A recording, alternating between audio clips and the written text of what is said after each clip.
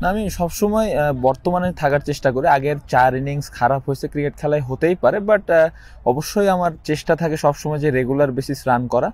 তো ওইরকম অতীত নিয়ে খুব বেশি চিন্তা করি না, আজকের দিনে ব্যাটিংটা নিয়ে চিন্তা করছি। আর প্ল্যান ওয়াইজ আজকে সিচুয়েশনটা এমন ছিল যে আমাদের একটু যদি ফার্স্ট খেলতে পারি তাহলে আমাদের, আমরা একটু সময় বেশি পাবো, আমরা যত বেশি টার্গেট দিতে পারব, তত বেশি আমাদের লাভ। সো ওই সময়টা আমাদের বেশি দরকার ছিল, ওই জন্য প্ল্যানটা আমি ওইভাবে করে গেছিলাম যে আজকে পজিটিভ ব্যাটিং করব। আমাদের ব্যাটিংয়ে দুজনের একটা পজিটিভ যে দিকটা ছিল যে দুজন দুজনকে আমরা হেল্প করতেছিলাম উইকেটে যে কীভাবে খেলা উচিত বা কীভাবে আমরা আগাবো, তো দুজন দুজনকে খুব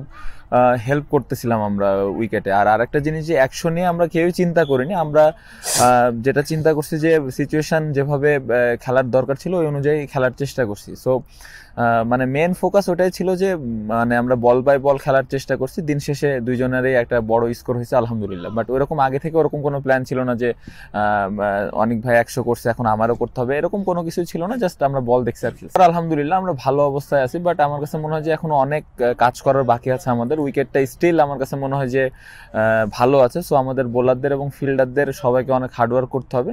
আই হোপ যে আর্লি যদি আমরা কালকে দুই তিনটা উইকেট পাই, তাহলে আমাদের জন্য আর একটু সহজ হবে। বাট আমার কাছে যেটা মনে হয় যে, পুরো দিনটা আমাদের অনেক কষ্ট করতে হবে। আজকে আমার ম্যাচ ছিল, আমি কালকে নট আউট ছিলাম এক ঘণ্টা ব্যাটিং করার পরে। কিন্তু আজকে সকালবেলা আমার প্ল্যানিং ছিল যে, আমি বল বাই বল ব্যাটিং করব।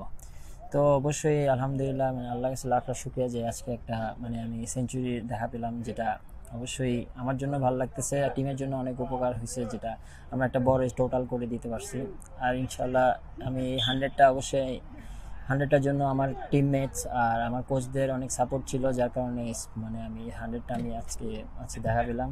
তার কারণে এই হান্ড্রেডটা আমি আমার আমার আব্বু আম্মু ওদেরকে ডেডিকেট করতে যাচ্ছি। আমরা এখন খুব মানে যেরকম একটা টোটাল কোর্স মানে করা হয়েছে আমাদের, ইনশাল্লাহ মানে ওদের তো তিনটা উইকেট গেছে ইনশাল্লাহ। এখন পর্যন্ত আমরা খুব ভালো পজিশনে আসি ইনশাল্লাহ। যদি গত আগামীকালকে এরকম যদি আমরা ভালো টাইট বলিং করতে পারি, তো ইনশাল্লাহ খুব তাড়াতাড়ি আমরা কামব্যাক করে ম্যাচ উইন করতে পারব।